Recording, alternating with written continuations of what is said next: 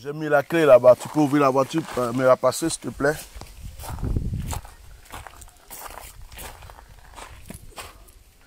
Merci. Ça a coupé mon direct là.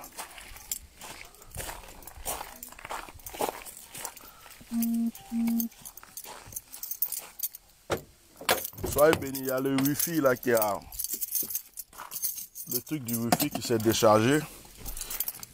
Donc, ça a coupé le direct, je vais le reprendre. Je vais reprendre là où j'ai commencé. Euh, là où je me suis arrêté. J'espère qu'il ne va pas couper cette fois-ci. Il y a tellement de soleil, je ne peux pas rester trop dans ce coin-là. Je suis obligé de me mettre... Euh, voilà. J'utilise le Wi-Fi. Donc, vais, repartager. Vais repartager.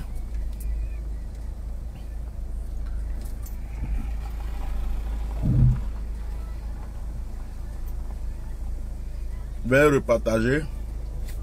C'est la deuxième partie puisque l'autre partie a coupé.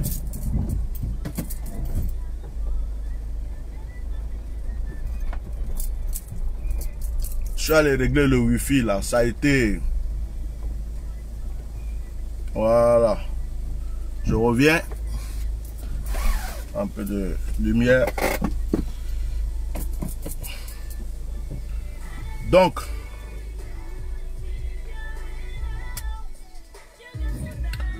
Donc je continue mon direct. Hein. Repartager pour ceux qui ne savent pas qu'on a repris ici. Partager. Alors mon message à Emmanuel Macron, tout à l'heure c'est le Wi-Fi parce que je suis dans un camping. J'utilise euh, le Wi-Fi de truc et c'est un petit boîtier. Alors le petit boîtier c'est il s'est déchargé, c'est avec euh, une batterie donc ça s'est déchargé. C'est ce qui fait que ça a coupé le direct. Donc voilà, c'est ce qui fait que ça a coupé le direct je suis allé le faire brancher, je reviens pour continuer mon direct. Donc, ceux qui ont suivi la première partie, que Dieu vous bénisse. Dans cette partie, ça va être directement pour Emmanuel Macron. J'ai déjà parlé aux Africains. J'ai déjà parlé, je vous ai déjà expliqué que la franc-maçonnerie est en train de dominer l'Afrique. Il faut que les Africains prennent conscience. Il faut que les Africains prennent conscience. Euh, je n'arrive pas à comprendre comment vous, les Africains, vous avez rejeté l'adoration de vos parents, vous avez rejeté le chemin de vos ancêtres, vous avez rejeté tout ce que vos parents font, vos ancêtres ont fait, vous dites que c'est la sorcellerie. Vous dites que c'est le diable. Et vous, les mêmes Africains, vous êtes dans la franc-maçonnerie. Hein? La franc-maçonnerie, là, c'est la sorcellerie pure. Pourquoi vous refusez les choses de vos parents, vous dites que c'est diabolique.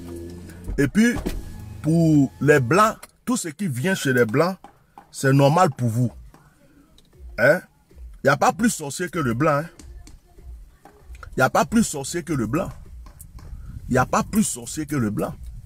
Ici, là, il y a les dizaines de bonnes aventures. Il y a des, il y a des, comment on appelle ces gens-là même? Il y a des, des charlatans. Il y a tout. Le blanc aussi est sorcier même, plus sorcier que le noir. Mais l'Africain préfère la sorcellerie du blanc et il rejette, il rejette ses parents, il rejette ce que ses parents ont fait. Ils disent que c'est diabolique. Ils disent que c'est pas bon. Pourtant, c'est eux qui courent dans la franc-maçonnerie. Voilà. Donc, mon direct là. Moi, quand il fait direct, je n'ai pas peur de quelqu'un. Je suis ici et puis il parle. Donc, je vais dire à Emmanuel Macron. Je vais dire à Emmanuel Macron, pour continuer, je vais dire à Emmanuel Macron, L'Afrique ne t'appartient pas. La Côte d'Ivoire ne t'appartient pas. Emmanuel Macron, tu es un petit frère. Tu es mon petit frère en âge. Moi, je ne suis pas le président africain. Mettez des cœurs. Je ne suis pas le vieux président africain qui porte déjà des couches, qui ont peur de toi, qui tremblent devant toi. Je suis en France et puis tu es pâle. Tu es président de la France. Mais j'ai le droit de te dire mes vérités. Voilà.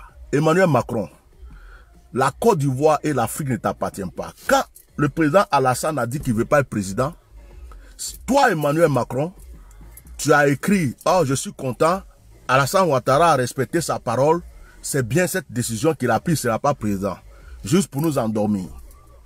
Quand le président Alassane dit maintenant qu'il va faire troisième mandat, c'est toi, Alassane Ouattara, euh, c'est toi, Emmanuel Macron, vient encore dire ça. On dit c'est un fake news. Moi, je sais pas si c'est fake news, mais je vais dire à Emmanuel Macron, si tu tiens à l'intérêt des Français qui sont en Afrique et qui sont en Côte d'Ivoire, il va falloir que vous changez de politique. On a été sous l'esclavage. Vous dites qu'on a été colonisé. Vous dites qu'on a été indépendant. Mais jusqu'aujourd'hui, on souffre de vos manières. Bonjour madame. On souffre de vos manières de faire. Les Africains, nous sommes en 2000. Nous sommes en 2000. Euh, à 2021, 2020, on s'en va même jusqu'à je sais pas quoi. Ça en 2020, bientôt c'est 2021. Ce que je vais vous dire, c'est que les Africains d'aujourd'hui ne sont plus les Africains d'avant. Nos parents que vous avez rendus esclaves là, c'est pas nous. Nos parents que vous avez colonisés, c'est pas nous. Nos parents que vous avez fait croire qu'ils étaient indépendants pendant que vous les volez, c'est pas nous. Nous, on veut préparer l'avenir de nos enfants et de nos petits-enfants.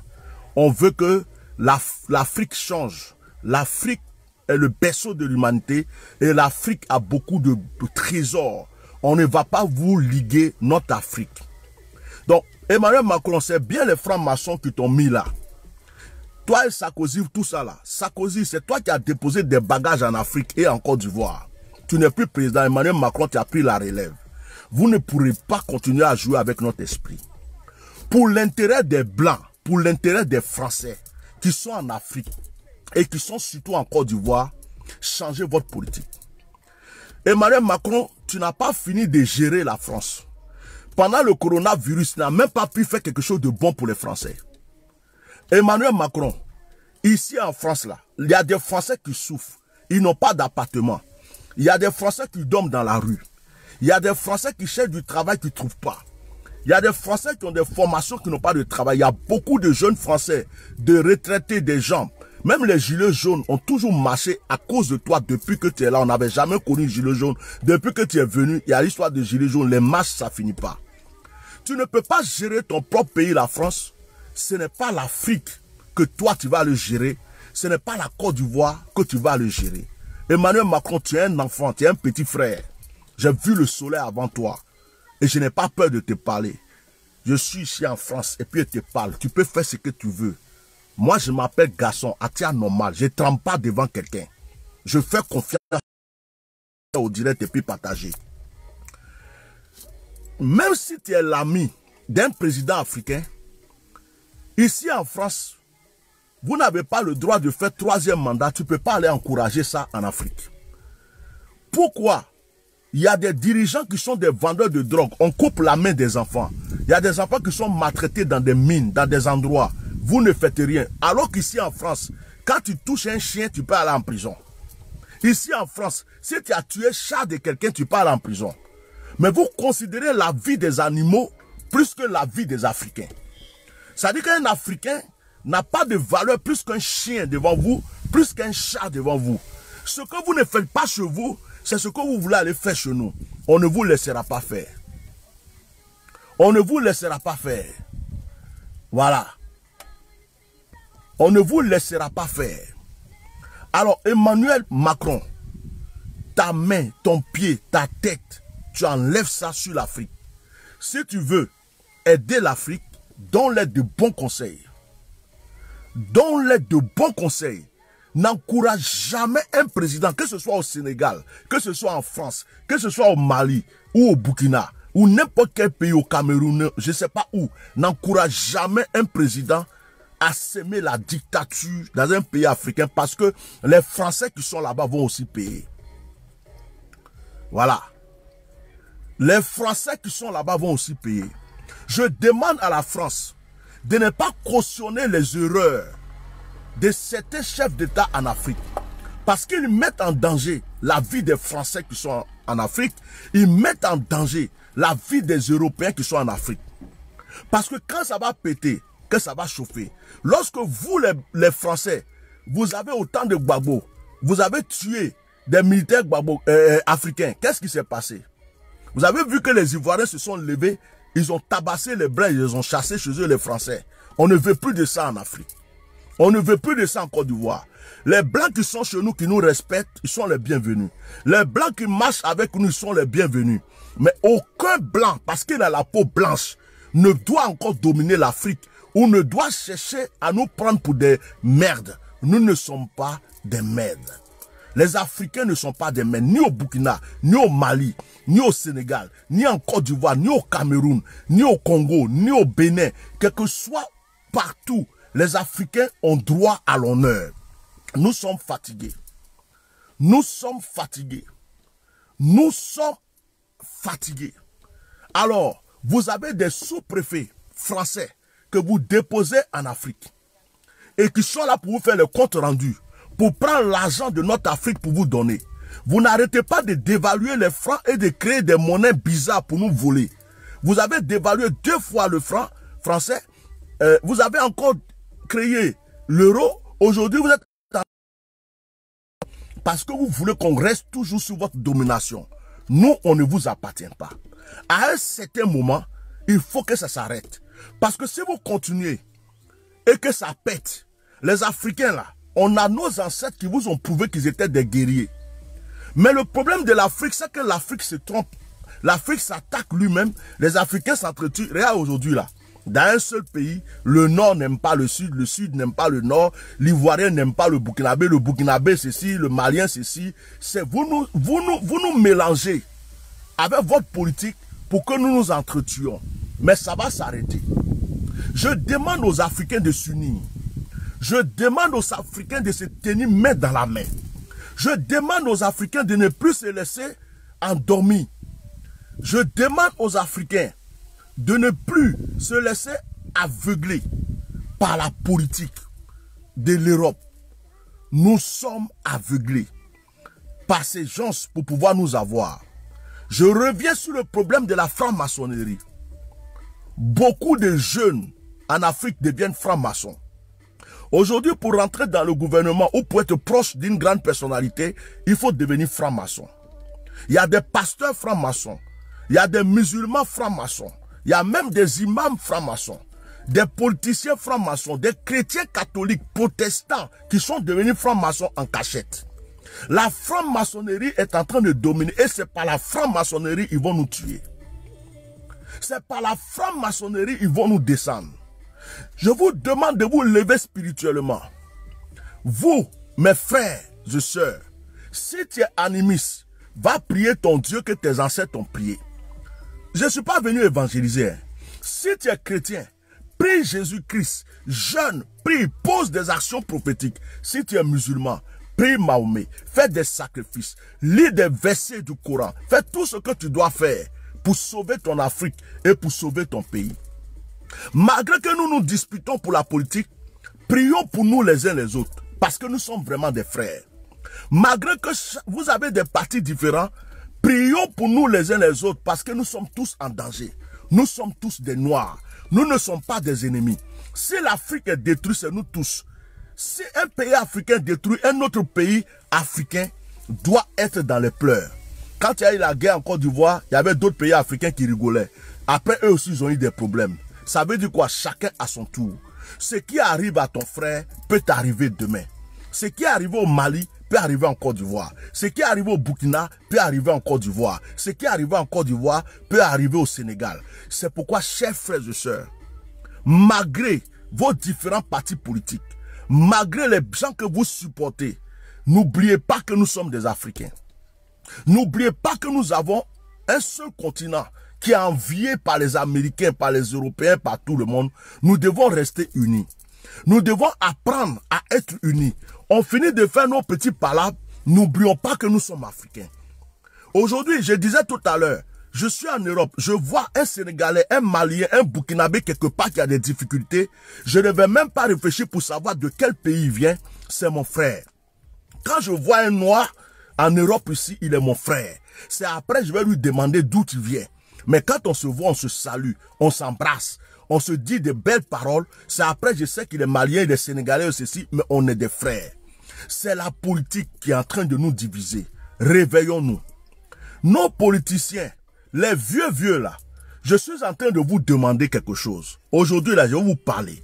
Tous les vieux politiciens, Vous qui avez depuis le temps d'Oufoué, mangé, vous êtes rassasié, votre ventre est rempli, vos enfants ont mangé, vos petits-enfants ont mangé. Jusqu'à Oufoué même est mort, vous êtes resté là encore. Vous avez continué, vous avez continué. Vous, ces politiciens, ces vieux-là, vous ne pouvez plus diriger nos pays. Vous n'avez pas la mentalité pour diriger notre pays. Les Blancs ont déjà mis la main sur vous. Ils vous ont déjà attachés. Vous avez des contrats avec eux que vous ne pouvez pas défaire. Laissez les jeunes, laissez la jeune génération se lever.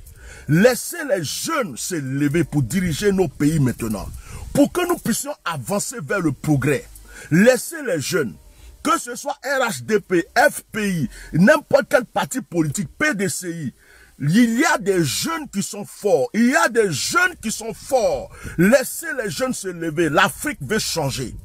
On ne veut plus continuer à trimballer vos bagages, vos anciens bagages de palabres, vos anciens euh, bagages de division, vos anciens bagages que vous avez transportés depuis longtemps. Nos frères sont morts, nos frères sont morts, nos parents sont morts. Vous êtes restés dans vos histoires jusqu'à aujourd'hui encore. Vous voulez continuer à créer des histoires pour nos enfants, pour nos petits-enfants.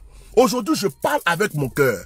Je ne parle pas au RHDP, ni au PDCI, ni au FPI, ni à un parti. Je ne viens pas attaquer un parti politique, ni même le pouvoir qui est en place. Je parle à tous les politiciens, les vieux. Prenez conscience. Et si vous avez échoué, dites que vous avez échoué et laissez les jeunes. Vous dites, nous préparons l'arrivée des jeunes. Mais vous préparez l'arrivée des jeunes quand? Quand vous allez mourir? Vous préparez l'arrivée des jeunes quand vous êtes dans votre cercueil? Vous préparez l'arrivée des jeunes quand vous êtes au cimetière. Laissez les jeunes diriger ce pays maintenant. Laissez les jeunes de vos partis politiques se présenter.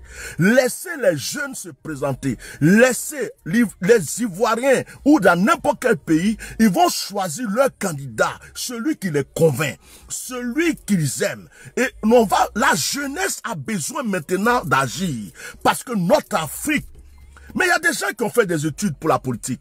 Il y a des gens qui ont fait des études pour être scientifiques. Il y a des gens qui ont fait des grandes études. Ils ont des grands diplômes. C'est des jeunes. Toutes les vies, ils ont fait des études. Vous ne voulez pas qu'ils travaillent. Vous ne voulez pas qu'ils fassent ce pourquoi ils ont, ils ont fait leurs études. Vous ne pouvez pas avoir 80, 90 ans, 100 ans et puis rester toujours au pouvoir. Il y a une génération qui est derrière vous. Laissez cette génération s'établir. Laissez cette génération préparer aussi l'arrivée de la prochaine génération. On est fatigué. On est fatigué. On est fatigué, surtout chez moi en Côte d'Ivoire. Depuis 99, vous avez créé votre coup d'État. Après, c'est parti dans les histoires de guerre. Jusqu'aujourd'hui, on est en 2020, où on se dit que bon, on a trop souffert, on va se reposer. Vous êtes encore en train de lutter, pourtant vous savez que vous êtes déjà vieux. Vous êtes en train de vous battre encore, pourtant vous savez que vous êtes encore vieux. Vous savez que vous ne pouvez rien faire. Vous êtes sous l'emprise de la France. Le petit Emmanuel Macron, le petit président de la France vous domine. Quand il vous dit mettez-vous à genoux, vous vous mettez à genoux. Quand il dit levez-vous, vous vous levez. Un petit de rien du tout, un bébé de rien du tout. Il, est en train de vous dominer comme ça. Pourtant, on a des jeunes qui peuvent se mettre devant lui pour lui dire, hé, ce que tu fais là, tu arrêtes. Vous, vous ne voulez pas. Vous êtes en train de vous battre. Normalement, en temps normal, Alassane Ouattara ne devrait pas être candidat. Bédier ne devrait pas être candidat. Même Gbagbo devrait se reposer. En temps normal, hein, si on veut laisser ces histoires de palabres, palabres, palabres, en temps normal, vous les vieux, vous devrez vous asseoir sur une table. Vous devrez vous réconcilier de vos palabres passées. Vous devrez vous serrer la main. Vous devrez oublier ce passé qui nous a créé tant de problèmes. Et vous devrez laisser la jeunesse prendre. Vous devrez vous asseoir pour donner des conseils. Vous devrez vous asseoir pour exhorter les jeunes, pour les encourager, pour ne pas que les erreurs que vous avez faites, eux, ils puissent le faire. Mais aujourd'hui encore en 2020, on est dans palabre pour Alassane Ouattara, on est dans palabre pour Bédier, on est dans palabre pour Gbagbo, on est dans palabre pour un tel, un tel, mais des gens qui étaient déjà au temps d'Oufoué, qui n'ont rien fait pour nous et qui aujourd'hui encore sont là en train de lutter. Mais vous voulez quoi au juste? Vous avez déjà eu l'argent. Vous avez déjà eu la gloire. Votre nom est déjà partout. Si c'est la richesse, vous avez déjà eu. Mais la jeunesse qui est derrière vous cherche simplement à rétablir son pays.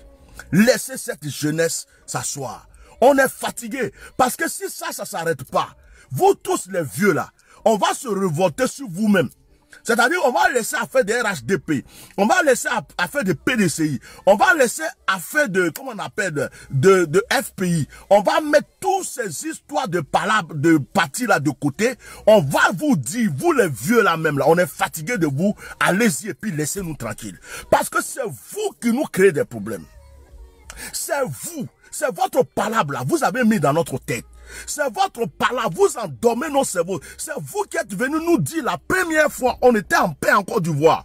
Vous êtes venu nous dire la première fois que le nord est contre le sud et que le sud est contre le nord. Vous avez endormi le cerveau de nos frères du nord. Ils ont cru qu'ils n'étaient pas aimés et ça crée des problèmes. C'est vous qui avez dit la première fois en Côte d'Ivoire que les chrétiens n'aiment pas les musulmans et que les musulmans doivent se révolter. Pourtant, on était en paix. Pourtant, on était tranquille. Votre stratégie politique, c'est de nous embrouiller. Votre stratégie politique, c'est de nous mettre en palabre. Votre stratégie politique, c'est de faire que mon frère qui s'appelle Bakari Adama soit mon ennemi parce que je m'appelle Kwame. Et puis vous allez prendre pour régner. On ne veut plus de ça dans notre pays. On est fatigué. Si vous voulez faire la politique une dernière fois avant de partir, soyez franc, soyez honnête. Ouvrez la porte aux jeunes. Et il faut qu'il y ait des élections plus propres, saines en Côte d'Ivoire. Il ne faudrait pas qu'un seul parti se dise je suis le chef, mais moi je vais tout faire pour régner. Personne ne peut régner éternellement dans un pouvoir. Et personne ne peut régner éternellement en Côte d'Ivoire. Vous avez compris? Personne. Et puis, on a un frère qui est du Nord. C'est pas parce qu'il est du Nord qu'il n'est pas notre frère. On a un frère qui est du Sud. C'est pas parce qu'il est du sud qu'il n'est pas notre frère. On a un frère qui est de l'ouest. C'est pas parce qu'il est de l'ouest qu'il n'est pas notre frère. On a un frère qui est du centre. C'est pas parce qu'il est du centre qu'il n'est pas notre frère. Il y a les quatre coins cardinaux. Le nord, le sud, l'est et l'ouest. Il y a aussi le centre. Écoutez-moi. Quel que soit le lieu où tu te trouves sur un territoire, tu es l'habitant de ce territoire, de ce pays. C'est pas parce que quelqu'un du nord s'appelle Boukari Adama qui n'est pas ivoirien. C'est pas parce que quelqu'un s'appelle Digbe euh, Lago qui n'est pas ivoirien. Mais pourquoi vous avez mis tout ça dans notre tête? Pourquoi vous nous avez endormis? Aujourd'hui, on se comprend plus. Avant, on mangeait ensemble. Pendant le ramadan, la tabaski, le chrétien partait manger avec le musulman. Pendant Noël, le musulman venait manger avec le chrétien. On faisait des mariages, des fêtes, tout ensemble. Aujourd'hui, là, votre politique, là, nous a mélangés. On sait même plus qui on est devenu. On s'insulte du matin au soir. Dès qu'on voit un homme qui s'appelle Mamadou, tout de suite on est en train de dire tu es Burkinabé. On est en train de dire tu es étranger. Pourtant, il est né en Côte d'Ivoire. Ses parents ont grandi en Côte d'Ivoire. Il est ivoirien. Et mais nous, on est en train de l'insulter en lui disant qu'il est étranger. Lui aussi, il a mal. Il dit, mais pourquoi je suis né sur ce territoire? Pourquoi j'ai grandi sur ce territoire? Et puis, lui aussi, il a grandi parce qu'il s'appelle Kwame. Lui, il me traite d'étranger. Et puis, il est révolté. Lui aussi, il veut nous tuer. Et puis nous aussi on dit on va pas te laisser, on va te tuer. Et c'est dans ça que nous sommes. Aujourd'hui, tous les petits doulas qui, qui, qui, parlent, ils sont nés. Moi, j'ai grandi avec des petits doulas. J'ai grandi avec des petits musulmans. Ce sont mes frères. Ce sont mes amis. On a joué au football ensemble. On a fait Maracana ensemble. On a marché ensemble. On a tout fait ensemble. Pourquoi aujourd'hui, à cause de la politique, je m'appelle Kwame et puis je vais détester Adama. Je vais détester Bakari. Pourtant, j'ai grandi avec eux. Pourquoi je vais faire ça? Parce que vous, vous régnez. Mais quand vous régnez là, vous donnez quoi au peuple? C'est quand il y a des élections, vous venez blaguer au le peuple. C'est quand il y a des élections, vous venez leur dire que vous les aimez. Mais quand vous êtes élu là, vous faites quoi pour le peuple? Pour aller à l'hôpital, ils peuvent même pas se soigner. Si tu n'as pas l'argent, tu meurs. Les hôpitaux sont même pas entretenus. L'école même, c'est un problème pour mettre son enfant à l'école. Pour travailler, c'est un problème. Pour entreprendre quelque chose, c'est un problème. Vous oubliez le peuple. Vous cassez même les, maisons des gens qui, se débrouillent pour nourrir les enfants. Quand vous n'êtes pas quand vous n'êtes pas encore élu, vous êtes sucré, vous êtes comme le miel. Mais dès qu'on vous élu, c'est fini. Vous êtes tous même chose. Vous êtes tous même chose. La politique, c'est diabolique. Vous tous êtes même chose. Vous tous êtes des menteurs. Vous tous, vous mentez quand ça vous arrange. Vous tous, vous tous, vous tous, il n'y a pas un seul pour sauver l'autre. Aujourd'hui, on va dire qu'on est contre Alassane, d'accord. Mais on peut dire demain qu'on est contre Bédier, on peut dire demain qu'on est contre Gbagbo. Chacun a quelque chose à reprocher à, à chacun. Vous tous, On n'a pas encore trouvé quelqu'un de vrai. On n'a pas encore trouvé quelqu'un de bon dans ce pays. On va dire, voilà un président qui aime le pays. Les Ivoiriens veulent un président qui aime tous les Ivoiriens. Les Ivoiriens veulent un président qui aime toute la Côte d'Ivoire. Les Ivoiriens veulent un président qui considère celui du Nord, du Sud, de l'Est, de l'Ouest et de tous les pays, et de tous les quatre coins cardinaux. Les Ivoiriens veulent un président qui va les unir. Les Ivoiriens veulent un président... Oufoué Boigny partait à la mosquée. Il a construit des mosquées. Oufoué Boigny était chrétien, mais il a construit des mosquées. Oufoué Boigny a construit des mosquées, il a construit des cathédrales. Il était chez les musulmans, il était avec les musulmans, il était avec les chrétiens. Oufoué Boigny aidait les imams, Oufoué Boigny aidait les prêtres, Oufoué Boigny aidait les pasteurs. Oufoué Boigny ne faisait pas de différence. Vous dites que vous faites la politique d'Oufoué Boigny aujourd'hui, mais Oufoué Boigny ne nous a jamais divisés. Autant d'Oufoué Boigny, que tu sois Baoulé Djoula, euh, même le, le, lobby, même le Burkinabé, même qui habite dans ton même quartier, tu le considères comme ton frère parce que ça se passait très bien. Autant d'Oufoué Boigny, on ne s'est jamais divisé. Oufoué Boigny, il était pour les imams, il était pour les musulmans, il était pour tout le monde. Donc vous êtes fatigué, vous voulez quoi? Votre politique de passé, vos rancunes du passé, vous prenez ces rancunes-là pour venir aujourd'hui encore nous endormir avec. Mais ce n'est pas nous qui avons créé des histoires de vous. Nos enfants sont là, nos petits-enfants sont là. Ils ont besoin de vivre en paix. Pourquoi vous voulez que votre guerre, là, c'est nos petits-enfants qui payent pour ça encore demain? Nous sommes fatigués. Prenez conscience. Prenez conscience. Si vous avez signé des contrats avec la France et que ces, ces contrats-là font que vous ne pouvez pas vous en défaire. S'il vous plaît, restez à côté, donnez des conseils aux jeunes. On a des jeunes générations, il y a des jeunes là qui sont bien instruits, qui ont fait des grandes études en Europe, aux États-Unis, qui sont là. Il y a des jeunes baoulés, il y a des jeunes mais c'est tous ces jeunes qui ont fait des études, avec tout le paquet de diplômes qu'ils ont. Mais vous voulez qu'ils restent ou qu'ils fassent quoi? Vous avez tout bloqué. Vous êtes vieux, vous ne pouvez plus rien faire. Vous ne savez même pas prendre des décisions.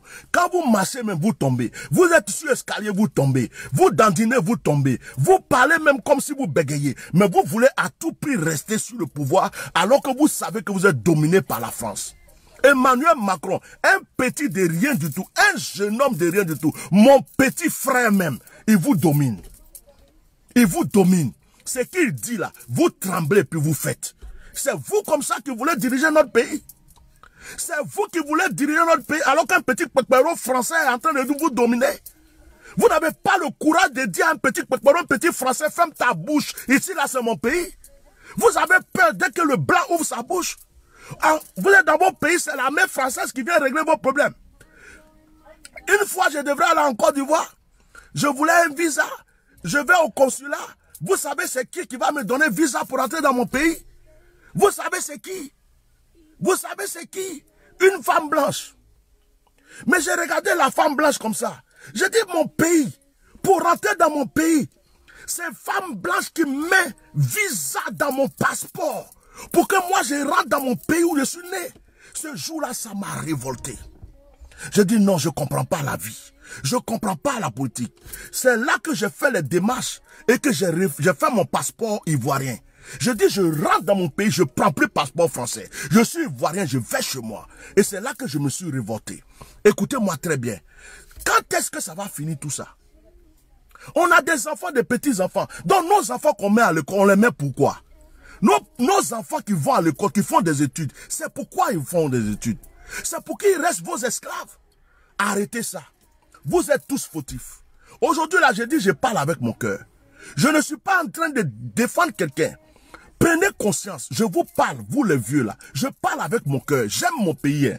Quand je viens m'arrêter, de fois que je pas, j'attaque. Même quand j'attaque le pouvoir en, place, c'est parce qu'il y a des actes, il y a des comportements, il y a des choses que je n'aime pas. Je viens leur dire la vérité. Mais en toute sincérité, si je vais être neutre là, je vais vous dire, vous tous fermez vos bouches, vous les vieux là, vous tous la quitter là. Et puis laissez les jeunes gérer, gérer le pays. En réalité, si je vais être neutre, ne même pas parler de quelqu'un, vous tous là, vous êtes disqualifiés. On vous a laissé depuis longtemps faire vos preuves. Vous, avez, vous êtes restés là. On n'avait jamais, jamais, jamais rien eu. D'accord? Voilà. On n'a jamais rien eu. Aujourd'hui là, je suis venu vous dire quelque chose. Arrêtez. La jeunesse veut se lever. La jeunesse veut travailler. La jeunesse, on veut des présidents jeunes. On veut une politique jeune. On veut une politique jeune. Mais je n'arrive pas à comprendre quand on parle même des jeunes africains, eux-mêmes viennent encore t'insulter. Vous voyez l'Africain comment il est? Tu défends ton frère africain, quand tu as fini de le défendre, il prend couteau et puis il te tue. L'Africain là, quand tu lui tends la main, ta main que tu as tendue là, il coupe ça et puis il t'achève. C'est comme ça les Africains ont vendu leurs propres frères aux Blancs pour l'esclavage. C'est comme ça les Africains ont traité Thomas Sankara, c'est Africain qui l'a tué. C'est comme ça les Africains sont. C'est-à-dire qu'Africain, il ne faut pas prendre sa défense. Africain, il ne faut pas le défendre. Africain, les Blancs ont tellement dormi son cerveau qu'il est devenu une race bête. Les jeunes même qui sont là, tu es en train de faire un direct pour les défendre. Pour que demain ils soient heureux, c'est eux qui viennent t'insulter, tu es bête. C'est eux qui viennent t'insulter, ceci, cela. C'est eux qui mettent des têtes de mort. Pourtant, tu parles de leur avenir. Tu parles de l'avenir de leurs enfants. Tu parles de l'avenir de leurs petits-enfants. Ils viennent, ils t'insultent. Ce n'est pas blanc qui vient t'insulter. Hein. C'est noir, c'est africain. C'est africain qui vient t'insulter. Il est jeune en plus. Tu es en train de dire qu'il est jeune. Il faut qu'il s'en sorte dans sa vie. C'est lui qui vient t'insulter. Voilà l'Afrique. Voilà l'Afrique. Voilà l'Afrique. Voilà. Voilà l'Afrique. C'est pourquoi certaines personnes se lavent les mains. Ici en Europe là, qui fait plus du mal à son ami? C'est l'Africain qui fait du mal à son ami africain. Quand on dit les blancs sont racistes, les blancs sont racistes. Il y a des noirs qui sont racistes contre leurs frères noirs. Il y a des noirs qui sont jaloux. Quand un noir ouvre un magasin ici, quand un noir ouvre un magasin ici, tu vas pas voir des noirs aller acheter des choses. Il ouvre un restaurant. Les noirs préfèrent sauter son restaurant pour aller chez les chinois, pour aller chez le blanc, pour aller chez euh, euh, le mauritanien. Eh, le noir n'aime pas son frère noir. Le noir ne veut pas que son frère noir réussisse. Le noir n'aime pas que la vérité sorte. Si c'est un blanc qui est en train de parler, le noir allait venir acclamer. Mais comme c'est un noir qui parle, il faut que le noir vienne insulter le noir. Pourtant, ce que ce noir est en train de dire, c'est pour sa défense. C'est pour ça que nous ne pourrons pas évoluer. C'est comme ça que nous ne, c'est pour ça que nous ne pourrons pas évoluer. Regardez des jeunes. Tu es en train de dire qu'il faut penser aux jeunes. Tu es en train de dire qu'il faut laisser la place aux jeunes. Il vient lui-même jeune, hein, il vient et puis il te dit tu es bête. Il vient et puis il t'insulte. Il vient et puis il insulte ta maman. Et puis il met des têtes de mort sur ton direct. Pourtant tu es en train de le défendre. Est-ce que c'est parce qu'il n'est pas là à l'école? Est-ce que c'est parce qu'il ne comprend pas le français? Est-ce que c'est parce qu'il a endormi, il n'est pas intelligent? Ça, je ne le sais pas. Mais je demande à la jeune génération qui est instruite. Nous là, on n'est pas allé loin à l'école. Oh. Nous, on n'est pas politiciens. Dieu nous a pris, on a notre chemin qu'on trace. Un jour, on va mourir, on va partir. Mais nous, on peut s'entraider et s'encourager. Je demande à la jeune génération de prendre conscience. Vous qui avez fait des études, vous qui pouvez faire la politique, vous qui avez des diplômes, vous qui êtes, en compte sur vous. L'Afrique a besoin d'être évoluée. Nous n'allons pas passer notre temps à faire évoluer l'Europe et tous les autres et oublier chez nous. S'il vous plaît, pensez à notre Afrique maintenant. Toutes ces études que vous avez faites, c'est pour votre continent. On a besoin des usines. On a besoin de beaucoup de choses. On a besoin des infrastructures. On a besoin de beaucoup de choses. On a besoin d'une bonne politique. On a besoin d'une bonne politique dirigée par la jeunesse. L'Afrique a besoin de se réveiller. Ce matin, c'est avec mon cœur, en tant que noir, en tant qu'Africain, que je suis venu parler en tant que quelqu'un qui va attaquer un pouvoir ou non. Je suis venu parler à cause de la souffrance de mon Afrique. Ça fait mal de nous voir nous diviser comme ça. Ça fait mal de nous voir nous insulter du matin au soir pour que les Blancs mangent ce que nous produisons pour que les Blancs, regardez le prix du cacao, regardez le prix du café, regardez le prix de l'EVA, regardez quelle souffrance même nos parents, le vieux se lève pour aller au champ, la vieille avec des bagages sur la tête, mais ils n'ont rien. Et tout vient chez les Blancs ici. S'il vous plaît, que mon message de ce matin rentre dans la tête de beaucoup. Vous qui êtes aux États-Unis, vous qui êtes en France, ailleurs, arrêtez, c'est-à-dire qu'à un certain moment, réfléchissez. Combien de temps on va rester là même à s'insulter pour des vieux? Combien de temps on va être là? Tu vas insulter ton frère pour un vieux parce qu'il est, il est chef de ton, de ton parti politique, alors que toi-même tu as le pouvoir. Ça ressemble à quelqu'un qui travaille dans une usine. C'est lui qui fait marcher l'usine. S'il n'est pas là, l'usine ne peut pas marcher, l'entreprise ne peut pas marcher. Mais il ne peut jamais créer sa propre entreprise. Il a toujours un patron qui lui paye des miettes. Pourtant, si lui n'est pas là, l'entreprise de ce patron ne peut pas marcher. C'est comme ça, vous qui avez des diplômes et des connaissances, c'est comme ça vous êtes actuellement. Parce que vous vous êtes laissé écraser. Réveillez-vous. Pourquoi vous ne créez pas des associations de, jeunes étudiants, des associations de jeunes politiciens, des associations de, ceci, pour commencer à créer des mouvements afin de préparer votre avenir dans la politique, afin de préparer votre avenir dans le pays. Afin, pourquoi est-ce que vous vous réunissez pas pour faire des ONG, des collectivités, pour créer des usines, pour créer des choses pour votre nation, pour votre pays. Et votre pays vous verra. Il dira, ah, ce sont ces jeunes-là qui ont fait leurs études aux États-Unis, au Canada, en France. Regardez comment ils sont en train de développer notre pays. Si demain, un d'entre vous dit, je vais être candidat, on dira, oui, on te connaît. C'est grâce à toi, on a les écoles ici, on a l'hôpital. C'est grâce à toi, on a ceci. Il faut vous réveiller, s'il vous plaît. Il faut vous réveiller. Il faut vous réveiller. Frère, j'ai fêté mes 49 ans. Si Dieu m'accorde longue vie, l'année prochaine, j'aurai 50. Je ne fête pas trop les anniversaires. Mais j'ai dit à ma femme, mes 50 ans, c'est la moitié des 100. Je ferai une grande fête parce que je ne sais pas quand Dieu va me prendre. Aujourd'hui, je ne me considère pas jeune, je ne me considère pas vieux. Mais ce que je sais, j'ai fait mon temps sur cette terre. Et je sais que j'ai des enfants, des petits-enfants. Un jour, je vais partir. C'est à leur avenir que je pense aujourd'hui. Qu'est-ce qu'ils vont devenir? Leurs enfants vont devenir quoi?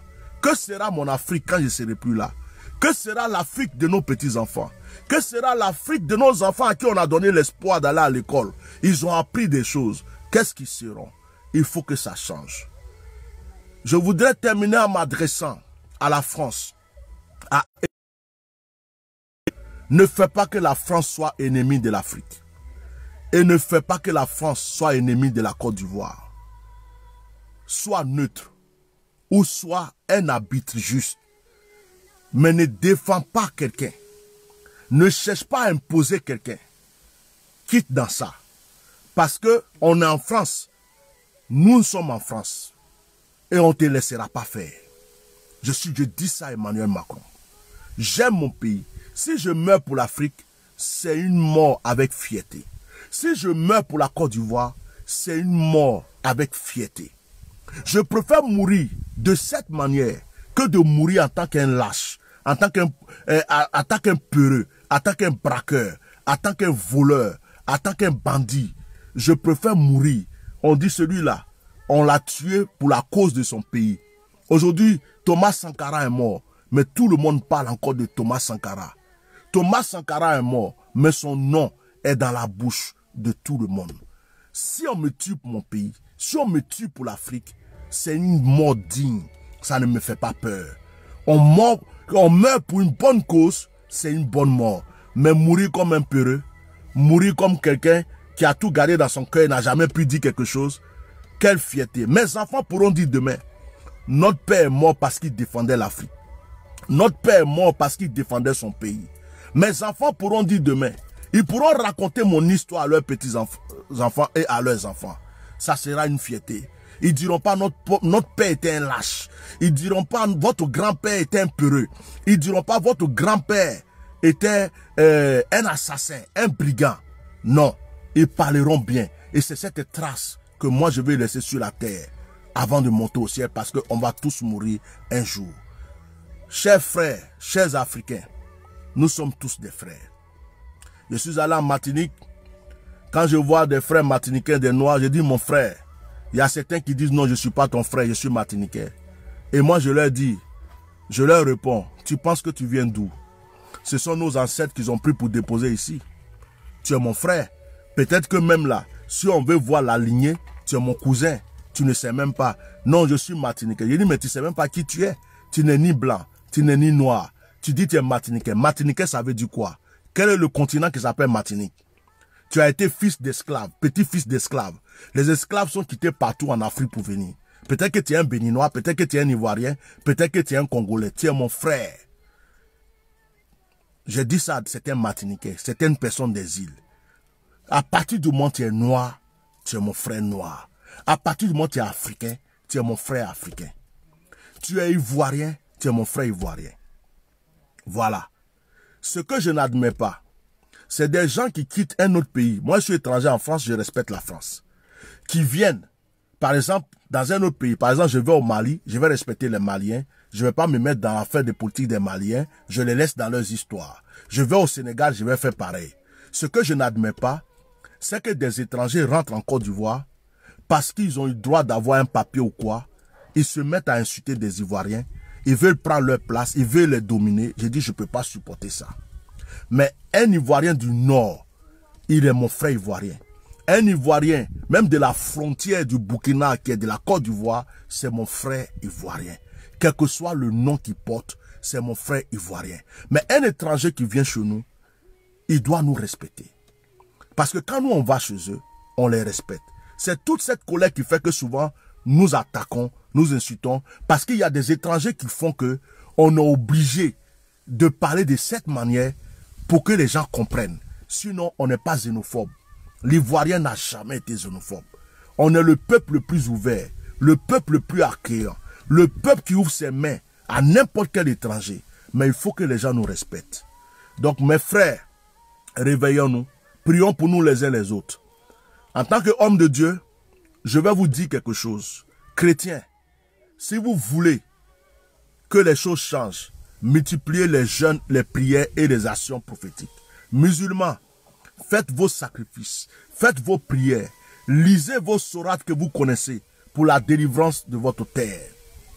Si tu es païen, si tu adores le Dieu de tes ancêtres, je ne suis pas venu te juger. Ce que tu sais faire là, va faire pour ta nation.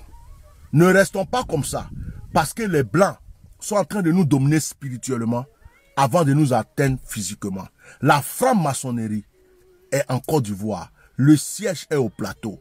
Et ça marche avec les sacrifices humains, les sangs versés, tous pour nous endormir, pour que nous soyons dominés à vie, afin qu'ils puissent prendre nos nations. Réveillez-vous, chers frères et sœurs. Réveillez-vous. Que Dieu bénisse la Côte d'Ivoire. Que Dieu bénisse tous les Ivoiriens. Que Dieu bénisse tous les partis politiques. Que Dieu fasse qu'il y ait la conscience. Ceux qui font la politique, nous ne faisons pas politique. On ne fait que parler. Que Dieu fasse que les gens aient la conscience. Et que les gens se disent, il y a déjà eu trop de morts. Il faut qu'on réfléchisse. Il faut qu'on laisse la jeune génération. Et que les choses changent dans nos nations. Je prie pour la Côte d'Ivoire. Parce que, avec tous ces petits feux qui sont allumés, les prophéties risquent de s'accomplir. Et nous ne voulons pas que ça soit encore pénible dans notre pays. En réalité, nous nous aimons, nous les Ivoiriens. En réalité, on n'a pas de problème. Même quand on s'insulte sur les réseaux sociaux là, c'est pas amour de notre pays. C'est parce que chacun défend quelque chose. Sinon, on n'est pas ennemis. On n'est pas du tout des ennemis. On s'aime. Mais les politiciens veulent nous détruire pour régner. Mais regardez ces politiciens, quand ils sont au pouvoir, ils font quoi pour nous? Toi qui défends Alassane aujourd'hui, demain ils vont te faire quoi? Ils vont te donner quoi? Toi qui défends Gbagbo, demain ils vont te faire quoi? Ils vont te donner quoi? Toi qui défends Bédier là, demain ils vont te faire quoi? Ils vont te donner quoi? On défend des gens qui mangent. On défend des gens qui pensent à leur famille. Leurs enfants sont dans des grandes écoles partout en Europe. Eux-mêmes, ils vont se soigner à l'étranger. Nos enfants souffrent, nos parents souffrent. Eux, ils ont tout. Mais on est toujours en train de les défendre, prêts à mourir pour eux. Pourtant, eux, ils sont à l'aise. Il va falloir qu'on comprenne que ce n'est pas ça la vie. Pensons à nous aussi. Vraiment que Dieu vous bénisse. Passez une très bonne journée, un très bon week-end. Ceux qui prient avec moi, je vais me désaltérer un peu, je vais prendre un peu de repos. Et je pense que quand il fera un peu moins chaud, je vais faire un direct de prière avec vous. Aujourd'hui, c'est le jour du sabbat, c'est samedi. Donc, ceux qui n'ont pas suivi la première partie du direct, vous pouvez aller la suivre. parce que j'ai commencé une première partie et celle-là, c'est la deuxième partie. Seigneur, je prie pour l'Afrique. Je prie pour chaque Africain. Et je prie pour mon pays, la Côte d'Ivoire. Je prie pour le Cameroun, pour le Sénégal, pour le Congo, pour le Bénin, pour le Togo. Je prie pour tous les pays africains. Je prie pour le peuple noir. Et je prie spécialement pour mon pays, la Côte d'Ivoire. Nous voulons que tu détrônes Satan et que tu prennes la place. Seigneur, merci. Merci. Merci. Merci. Merci parce que nous savons que tu agiras. Je ne critique pas l'adoration de mes parents africains. Nos parents t'ont connu. Ce sont les blancs qui sont venus avec leur évangile. Jésus-Christ est réel. Mais nos parents te connaissaient avant que les blancs n'arrivent. C'est pourquoi, Seigneur, que toi, le Dieu que mes ancêtres ont adoré, le Dieu que mes ancêtres ont supplié, qui a soutenu tellement l'Afrique, qui a aimé l'Afrique, on veut nous faire croire aujourd'hui que tu n'as jamais aimé l'Afrique. C'est faux. Tu as aimé l'Afrique plus que tout. C'est pourquoi ton fils Jésus même a grandi en Afrique. Moïse est venu de l'Afrique. Seigneur, je prie que tu changes notre histoire. Prends soin de mon pays, la Côte d'Ivoire. Nous voulons vraiment la paix. Nous voulons la tranquillité, la paisibilité. Nous ne voulons plus être la risée des gens de ce monde. Nous voulons que tout change. Parle à nos politiciens. Parle à nos vieux présidents et nos vieux politiciens qui comprennent qu'ils ont déjà fait leur temps et qui plient leurs bagages. Relève la jeune génération afin que Seigneur, nous puissions vivre en paix, nous puissions vivre heureux, que ton nom soit glorifié. Bénis tous ceux qui m'ont suivi. Pardonne même ceux qui m'ont insulté. C'est dans l'ignorance et l'erreur. Seigneur, aujourd'hui, mon cœur est tellement paisible que même mon ennemi qui est en face de moi, j'ai envie de le bénir. Prends soin de mon continent et que Seigneur, cette paix que j'ai dans le cœur soit dans le cœur de tout le monde. Au nom de Jésus, j'ai prié. Amen. Chers frères et sœurs, bon week-end. Merci beaucoup. Au revoir. Partagez le direct pour ceux qui n'ont pas suivi et vous le verrez sur YouTube. Mes administrateurs vont mettre ça sur YouTube. Shalom, shalom.